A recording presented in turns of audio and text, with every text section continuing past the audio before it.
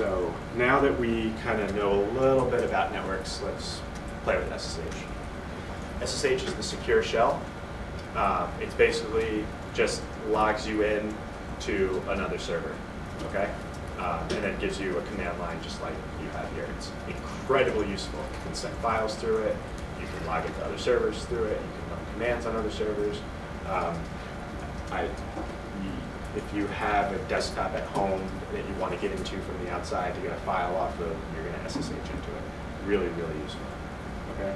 So the most um, basic thing you can do with SSH is connect into another server. The syntax for that is the command SSH, and then the username on the remote server. Um, we have you guys set up. It's your first name, all lowercase. Bin, yours is your first name and your last name, because Bin is a user on the computer already. Okay, and if the you know we use the roster, so if you're if there was two names for your first name, it's just the first one.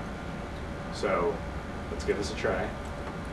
So mine's Matt2 at condor.andysayler.com.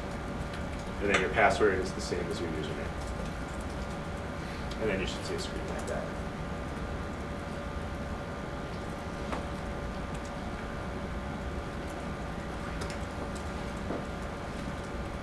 The password was what? Same as your username. It's waiting for your password, so uh, when it gives you a blank prompt, um, Yeah, when when it, when it asks you for your password, um, it's not going to give you any feedback, like stars or anything like that. So if you lose track of where you are, just hit enter and And start it says the identity of the host is currently established. Exactly. Uh, Oh, same sorry. message. Just so just Y, hit Y and enter. Or yes. Oh, Yes. yeah, it's gonna ask you. Please type yes or explain. no. Yeah. You know what? I um. You can clear it. what's the password? Yes, I did. User. You'll need to type it. Sorry about that. Ah, So- the first name. Password is the first name. The full name, first name. So when you see, are you sure you want to continue connecting? Just type yes, and you won't see that again. So, sorry, why, why did you get the problem of uh, entering yes or no? Okay, um, it's basically like a reverse authentication. You tell the server who you are, and the server tells you who it is.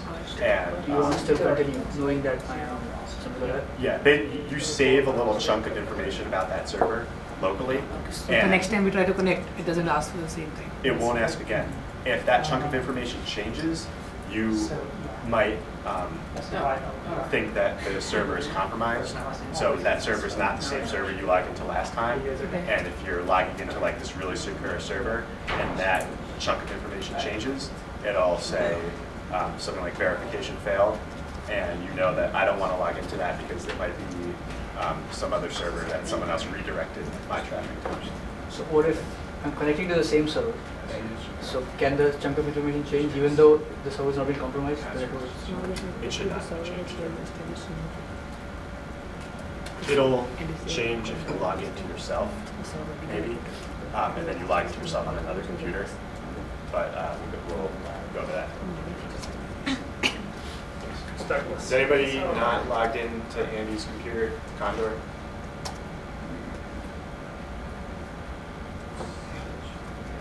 Two S's, we probably have to type on our. Not logged in? Um, I'm not, but I just, I wanted to ask, most of us can't, um, remote into our machines at home because we're getting a private IP address from our ISP, right? Yeah. Well, no, you're getting, you get a public IP address from Right. ISP, but the router, it's but it's not, it's, it's dynamic. Right. Right, so you You need to either remember that IP address or get a domain for yourself, which is like a few bucks a year. Um, You can do things like Dyn DNS, Uh-huh. which will detect zero. I mean, there are ways to get around it, but if you're gonna be doing it a lot, you just ask your ISP for the static IP. Um, But there are ways to get around, if you just have regular Comcast, you need to be able to do this. There are tricks. Okay. Let's see, I'm not logging into the machine.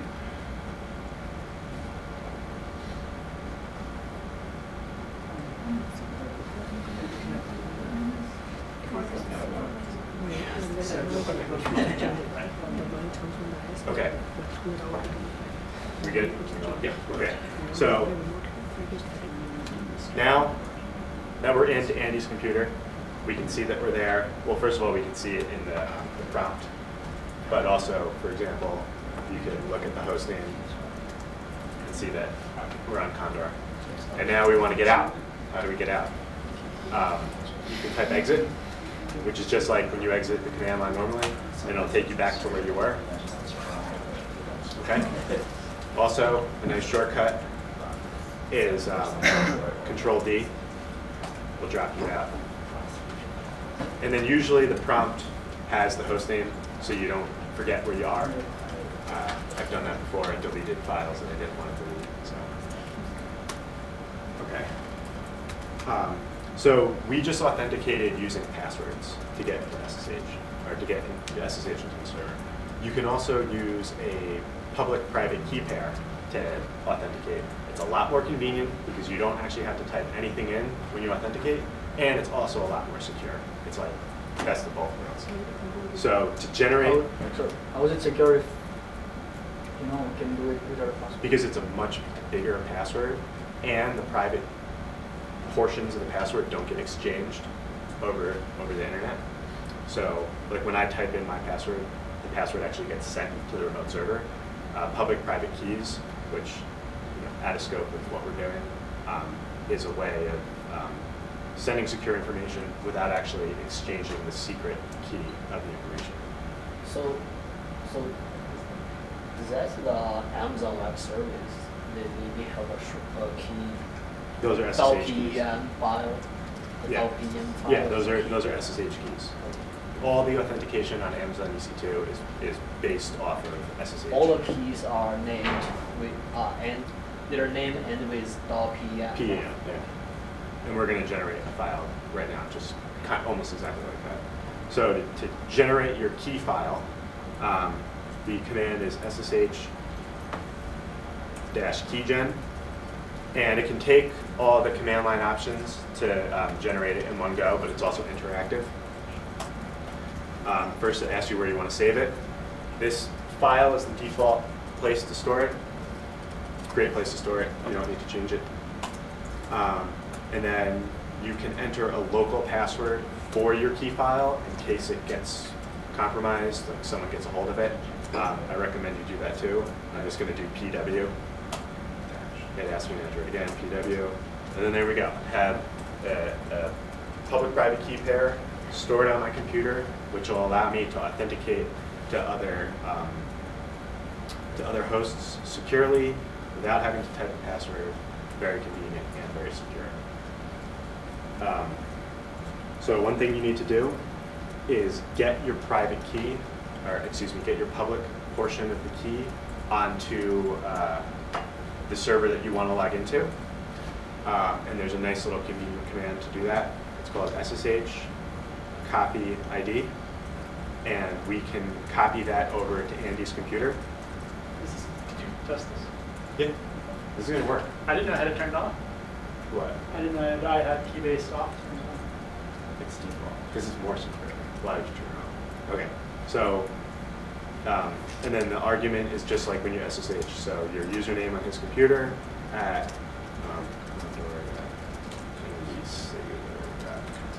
Does it matter that saving the email? I think your uh, Yeah. password did not go through because it's too short. Uh, says I think you your have password is too short. I didn't, I didn't notice that. Okay, sorry. Yeah.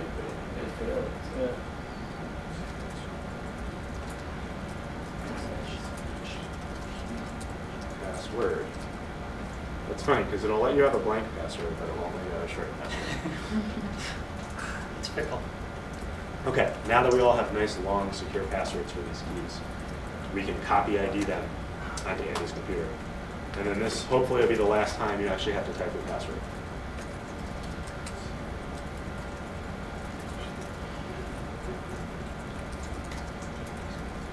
And then, if it's successful, it'll print out something kind of like this.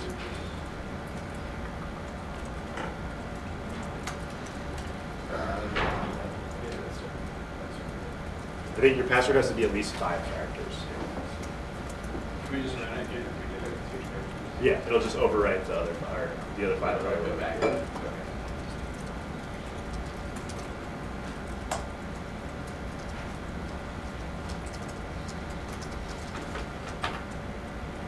Uh, SA yeah, and then SA uh, yeah, oh, can you spell it? Yeah, so one, uh -huh. one line. Yeah. Problems, questions. Um, what does this mean? Yes. So now you're logged into this. that's Yeah. fine. After you run copy ID, you're That's still not- on It's your. just saying to make sure you didn't screw up. Okay. But you should be able to run this now without typing in your password, so if you just So run what's, this what command, is, you what have to is, put the password. is the, Well, so not this, not, not. Ah, Okay, well, so you will need to type your password here. Now, this is the password you just created Oh, with your key. Okay. Why Right, so it which permission password do we have to right? use? Uh, which password do you use? No, The- But this is your. Oh, when, using- when you yeah. do copy But that's the the last one time you used when you logged into it a minute ago. Yeah. Alright, good, So it's your first name, basically. so, yeah.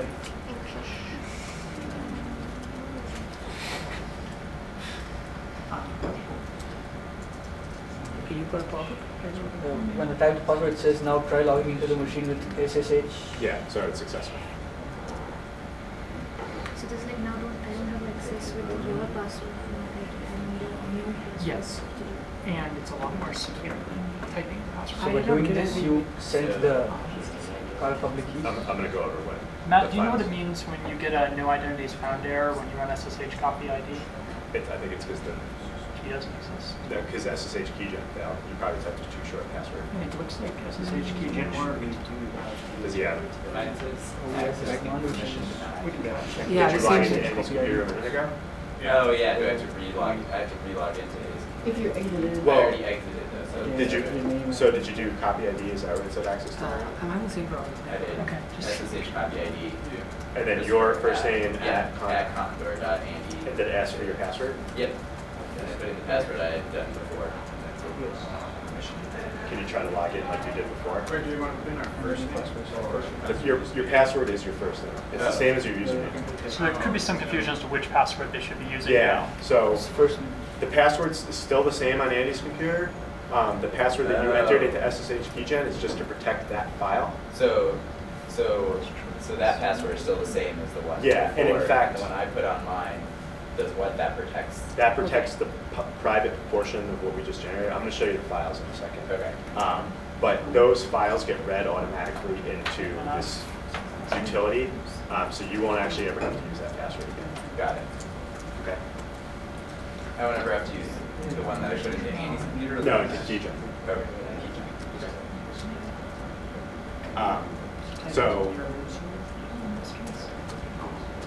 So now it's good. It must have the first time for some. So now you can log in by just doing It this. will. are they good? Yeah, did you go over, so you the get a password prompt the first time you log in? Yeah, when you copy ID, it's the last time you have to. aren't you logged, logged into Condor? I'm not. Nope, so we should all be on our um, Well, local machines now. A lot of people Okay. like that. I'll check it out. So let's, uh, let's talk about kind of what happened when we generated our keys. You can see in the SSH directory on your, on the VM, you have a few files now. Um, One of them is ID underscore RSA. This is the private portion of your new key pair. This is a secret. This doesn't go anywhere. It's yours. This is what's password protected by the password you entered into KeyGen. Okay? And then pub is the corresponding part, uh, is the public portion of your key pair. Okay? Um, the .pub file gets put onto all the servers that you can log into. So if that server has your pub file, you can use your private file to authenticate. Okay? There was a picture or some little ASCII showed up on the. It's, it's a fingerprint. Okay. It's, it's, it's just a way so that, because these key pairs that you're generating are like, I think by default, uh, I don't know how many, but It is five twelve, five twelve. five, or five twelve or ten twenty-four. It, it's a lot of information. Yeah. Um, and then, so they just have like fingerprint visual cues as a way to kind of verify the oh. key. So you could, let's say, look at the server and see what its little fingerprint Yeah, is. if you don't recognize it, you know that you didn't log in where you think you're logged Okay, into. all right. Okay, cool.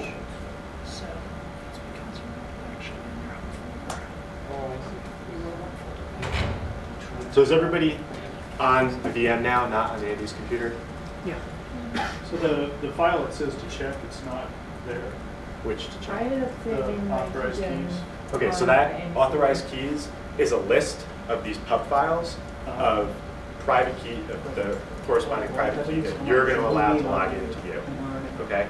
So right now, I can't log into the VM. Oh, so you would check that on So what you could do is SSH copy ID localhost. You want to verify it? Yes. Type your local VM password, which is user. And now we see that we haven't authorized keys on our own machine. So we can use our own private key pair to log in as, our, as ourselves. On Andy's computer, there's this authorized keys now. Right, Okay? So if you were looking on the server, that would already be there at this time. So IDRSA.pub is a single private key. Authorized keys is a list. It's a whole bunch of private keys that you're going to use. Uh, you know, they're, they're people that you're allowing to log in as your username on this computer. Also, once again, GitHub uses private, uh, public-private key pairs and, you know, um, you know, all sorts of version control systems. So it's used a lot, and it's starting to be used more and more because it is secure and convenient. You can't, you can't really beat that. Uh, question? Yeah, When we type the lsal.ssh command, we should be in our network, right? On our. On, on your So- VM, you should now have these four files. So I needed to pre- press exit to get out of control. Yeah. So but when I do that, I don't get the authorized, authorized keys. Because, um, so I was, we were talking a second ago, I ran, I copied my ID to my own computer just now. So if you could try to run this, copy ID localhost. Republic for your user. Oh, and we should run that command at the, at your own machine. Sure. You probably want to be able to log in to yourself as Your well. key has two halves. It says uh, there's an error because there was no identity is found. What does it say? No identity found. Um, are you still on Andy's? No, I, I'm gonna be. Yes. The procedure which we did, should we have done that on our computer? Everything from start to end or only the? Yeah. You did it on Andy's computer? Ah, yeah. So just come back into the VM, run SSH keygen again. I can just. Do you remember it was? All right, I'm gonna, I'm gonna walk around. Yeah. Okay? Well, so you don't have to go back. So, yeah, so it says no is found. So because I did the keygen uh, from this company. Yeah, yeah, I, I thought. Um, I did the key jump on my uh, personal computer, but it's still. So you should be able to do SSH copy ID localhost. I'm not into control. Which command is that? But it, it shows the 20 only. I mean, I did that, but Yeah, so do SSH dash Copy ID. copy ID. So you ended up, you must have an It's all home one directory word. somewhere. You're not actually in your home directory right now. You are in Dash uh, the copy directory. dash uh, space uh, localhost. So once you're in an SSH shell, what's different than if you were in a shell? Uh, So I well, do the you have no SSH graphics. uh, keygen once again from IBM and do the same process. So things are a little bit different in the days of now that everyone's using this user system. permission. Okay, this is personal Back in the password. This is your VM. Login your computer was just to be sat down and you log into your shell. No. SSH is just plain like. Oh, oh, it's- oh. So there's really very little So now you have difference locally. Other than the fact that if your internet connection goes down, all of your phone's gonna freeze, you're not gonna do anything. Okay, so It's like a serial. thankfully the keygen thing is just a one-time thing. So once you have it generated, you don't have to do it again. Okay? So now we all have copied our, we've created our public-private keys, we've copied the public key over to Andy's computer, and now we can SSH into Andy's computer. Um, Password is the person. It's a user. Uh, It's a user. without a password, except for this one time. So which password do we use at this point of time? Uh, first name? Did you get a pop-up window? No, I just got that user password. User. Did you copy ID localhost? Yeah, Yeah, so User. here you use, so this is user, this is the password for your local user. Yeah. So is everybody able to SSH back into Andy's computer? Yes, right? Yeah, yeah. So when I get the You guys public look window, perplexed. which, I get that. the keygen. So this is the password that you That I- just added a few Okay. minutes ago. So, yeah, if, if you go to log in now and you get a, a pop-up window, a GUI window that asks you for your password, that's the password you typed into SSH Keygen. That hopefully is the last time you have to type that password. There's a program on the computer called GNOME Keyring that's going to remember that for you from now on, and should be good to go. Okay?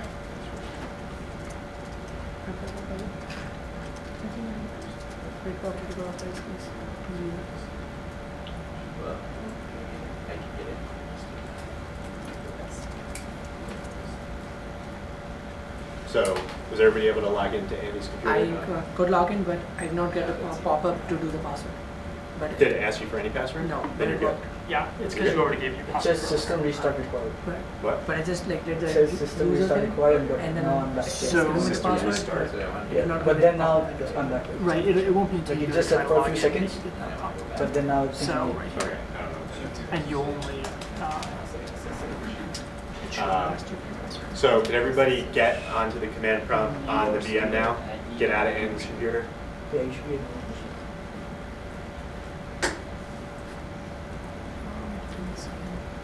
I the password you entered, already entered.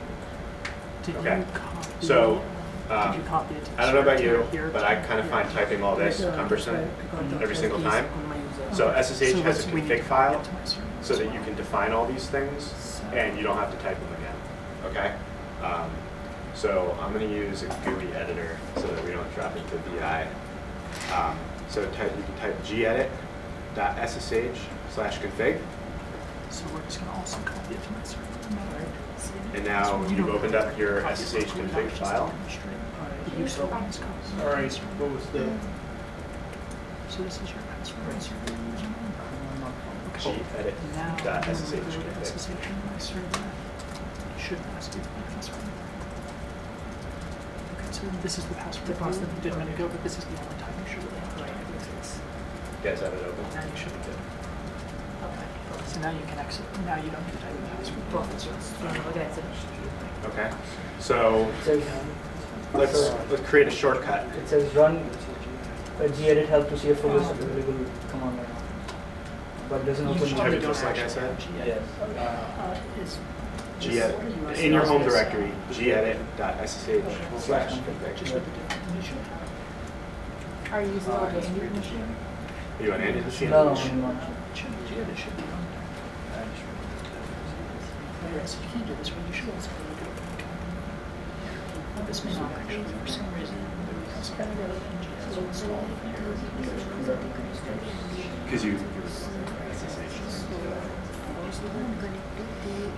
here. Because you. So I can't, I can't get to You were SSH into your local computer, logged yourself. All right, so does everybody have the SSH config file open in gedit? So now we're going to create a shortcut so that we don't have to type usernames and passwords again. The shortcut's going to look like this. Host name, we'll call it Andy. Host, Condor, andy.com. User is your username on Andy's computer.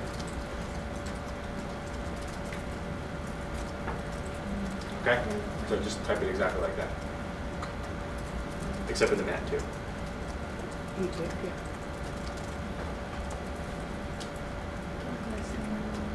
You can make the host name whatever you want, right? Yeah. This part is your keyword, and then you're going to set a whole bunch of settings that you want to refer to that keyword. And then we can just point and click save. Oh. Could have gone to So once we have this file saved, we can close gedit, ssh Andy.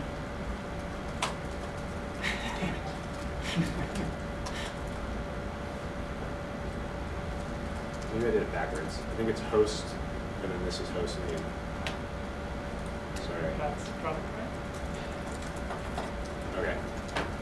I did it backwards, I apologize. It's host Andy, host name is the actual IP address or domain name. My apologies.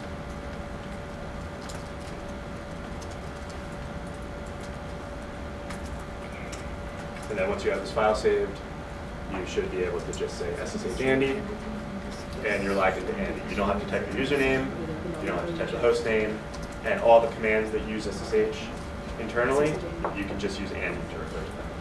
So I'm getting, um, could not resolve host name. I guess I'm doing this. So I, I, I had a typo. Yeah, so you need to be, so that is, it's host there, but it is host name there. Yeah. So Okay. Capital name, not not space. Uh, Thanks. Just hit- Yeah. it did. Okay. I just- So it's asking Question? you for your, okay. You good? Everybody You must- got their Andy keyword now? I don't really work. Well, we can fix it, but you use the password, password. Yeah, so we'll exit. So Okay. you need to run the command. So one of the really useful things that SSH can do for you is forward ports. Um, and this is useful if, for example, you have a home router and you want to get into it, but you don't want to leave um, port 80 open. So you don't want to leave the interface, web interface open to the world just on the inside of your network, which is usually the default config for these things. So what you can do is SSH into a host on your network and forward a port over so that you can get into this router. Um, so let's see how we do that. It's called a local port forward. You just need to run the The syntax is like this. It's dash capital L, and then some port on your computer that you want to be forwarded to the remote computer. I always do something like 5555. And then it's going to be the address that you want to access. Okay, so what we're going to do is forward localhost colon 5555 to Andy's web server. Okay? And then once you do that, you're, you've in, and you just kind of let that hang out in the background. So, any, any problems running this, logging into Andy? Okay, and then you can open up Firefox.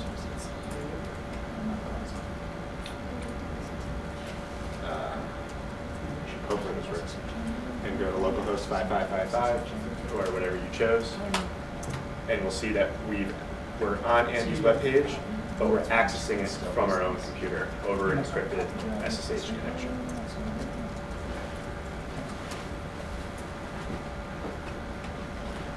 Can you go back to the? It's your uh, webpage. Uh, It shouldn't.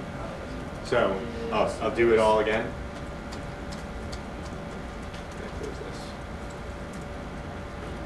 this? So starting locally, SSH dash capital L. You choose the IP address, I like 5555, uh, not the IP address, the port. the port, I'm sorry, actually port. Um, And then localhost 80 is going to refer to Andy's web. So this localhost is localhost on Andy's server, not your own localhost, okay? Let me log into Andy, open up Firefox. Uh, you know that website isn't hosted there, right? Well, but it gets redirected. Right, it should redirect. That will- So you should at least see this there a space? in Firefox. Don't know, it's loaded, but not, I don't know, it's not. Do you actually have an internet connection? Well, I might, yeah. So, Could you just explain what localhost Okay, over- port 80 on Andy's machine is? um, so localhost is a special host name that always refers to yourself, okay? 80 is a port that web servers listen to, listen on by default. So SSH uses port 20, web servers use port 80. It basically divides, So it's connecting to the web server on Andy's machine. yes. It's gonna be so good for my Google Analytics. Was it Good. Do you get money? Yeah. Okay. Let's click on the non-existent ads. And again, the reason why you would want to do this is if you were trying to get to a host uh, behind a firewall or, you know, on a remote network, but you can SSH into at least one computer on that network, you can do a port forward to get yourself other services on, on the network. Okay? Um, there's also a reverse port forward. Um, So how do you close the existing port? So, just as soon as you log out, the port forward's gone. So if you get yourself back onto the command line of the VM now, off of Andy's computer, Okay, so this didn't actually complete. we can do a, a reverse port forward, So did you set um, okay? And what this says is forward port 5555 on Andy's computer to port 80 on our own computer, okay? Um, Okay, so It's just like the logo, but Okay. We reversed. Okay? We don't actually have to run this because it's not, there's nothing visual on our, on our VMs that's gonna help Online us. machine see universal how it works. maybe shortcut, mm-hmm. so that's why I didn't know what it was doing. Local machines. Okay. Everybody cool with, understand the general concept behind port forwarding? Yeah? Uh, well. You don't understand it? What, why do you want to port for? It, it creates a tunnel on so one it's, so port. it's basically like keeps everything encrypted as you're transferring what files. Encrypt, yeah, no, not necessarily files, but um, certainly, usually you'll do it for like web pages. Like you have some internal web page on your home network, like your router's config, Mhm. right? And you don't want to leave the public side open, like usually Right. the router configs have, you know, uh, listen on the public network, listen locally. Um, So you don't have to leave the public part open. You can port forward into your own network and then get on to the router. Got it. Okay? So that command. Port would numbers look- used, can they be like, what is the limit? It's like.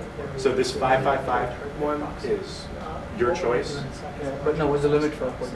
Oh, uh, two to the 16 minus one. So that's like 65,000. Yeah. Um, Okay. There's a third type of port forwarding called dynamic port forwarding. This is not good if you're um, at work and they have a firewall or a, a web proxy and they don't let you get to Facebook or whatever you want to look at. You can port forward into your house and route all your internet traffic through your home, encrypted to your computer so they can't see what you're doing at work. Okay? To do that, it's dash capital D and then one port, 5555, go to, Andy. So now we have a dynamic port forward from our computer to Andy's computer.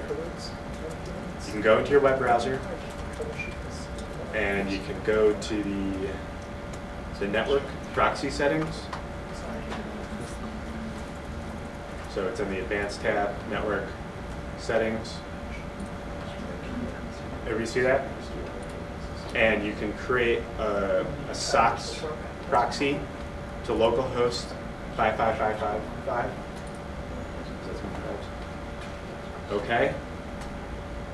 And now we see that all of our traffic is going through Andy's computer. We can go to a cool web site called ifconfig.me. And we see our host name is comcastbusiness.net, which is not what the, what the campus network uses. Okay?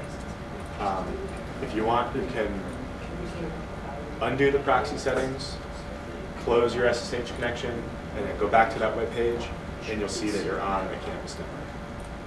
Settings, so just go to, um, auto detect is the default. Hey Matt, what's the SSH config file where you made Andy? Is it just .ss? .ssh slash config. Okay. So we close our port forward, go back to ifconfig.me, and now we see that we're at Colorado Data Media. Okay? Do you So- have that, that on the command? Okay.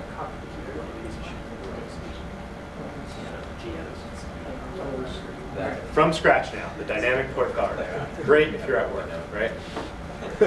From your VM, SSH dash capital D, and then pick a port, usually something high like, you know, 5555, Andy. Enter. So now we are logged into Andy's computer, but we also have this port forward thing going on in the background. Okay? Open up your browser, hopefully, you know, Firefox or Google Chrome. Um, go to the network proxy settings, uh, advanced network settings. Click the radio button for manual proxy settings. The SOCKS host is localhost. The port is the one you chose with dash D, 5555. And it's SOCKS V5, I think, usually. Click OK. Close the preferences. And then we go to ifconfig.me. And we can see our host name is Andy's public IP address, not your Colorado IP. So Colorado can't tell that we're at ifconfig.me right now. All the traffic was encrypted from Andy's computer to our own VMs and then displayed. Okay? ifconfig.me is just a handy little website for kind of getting information about yourself. Kind of see, it's like a mirror, see how the world sees you. What's the port number? Five, five, five. Oh, the port number. Yeah, It's proxy. is- In the, in the,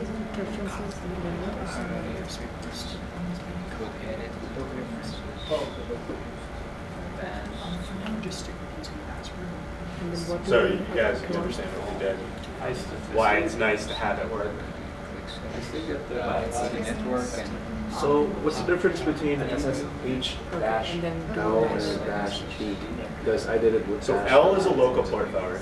Oh, it sends one port from your computer to some other host that may be seen by the remote host.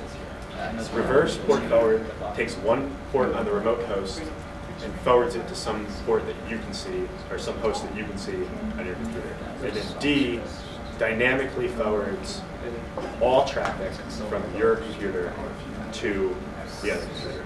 But D is like application specific, so you actually have to go into Firefox and enable it so that it can be used as a web proxy. And so now Andy's computer is our web proxy. So, It's like a mini VPN just for web pages. so you said the Colorado network can't detect that we have visited this site because we are routing it through Andy's computer, Yeah. but they can see that Andy is using the site. They, no, all they can see is that we're sending encrypted traffic to Andy's computer. They don't know what that traffic is. They don't know who it's going to once it leaves Andy's computer. Or, or This doesn't mean you should all be doing your file sharing through my server for the next two weeks, though. Well, we'll, we'll turn this off, but um, it's yeah, I, it's it's good at work if they're blocking something that you don't think that should be. It's also good when you're traveling in Europe and you want to watch Netflix, which is automatically blocked in Europe because of silly licensing rules. So you can just re- tunnel through a server in the United States, and then all of a sudden Netflix and Hulu and all of that jazz will work. Yeah. Had a, Any more questions about this? We're just where'd you send the proxy? Um, in Firefox, you go to pre- you go to preferences. It's in advanced network and then connection settings. And then don't forget, like when you get home or you're done with that connection, to just turn it off. Otherwise, no web page will work for you.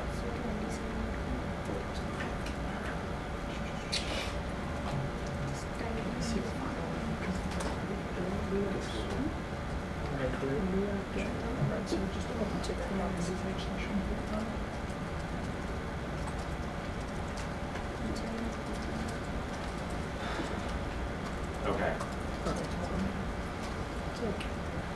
So do you have to set up, like, set it, like, Andy has a set? So Andy has a he has a SSH server running on his computer. If you do um, sudo apt-get install SSH on your Ubuntu server, it'll install SSH for you and I think automatically start the server, so you don't have to worry about it. So you can just have, like, your computer at home, you just install that SSH. This was You default can first. yeah, install OpenSSH, and um, in your home network router, you want to forward port 22 to the computer that's using that is the SSH server. Okay, and then you have your dynamic proxy, port forwarding tool, um, everything. Okay. All right. Final thing that we're going to do with SSH is there's kind of this express mode. So if you get back onto the VM command line, um, you can do SSH, the remote host, and then a command like cat etc hostname, and it'll automatically log into Andy, run that command, and, and exit. So it's it's nice if you just want to run one command on a remote computer. And you can see that we printed out Condor and not the the uh, VM. Okay.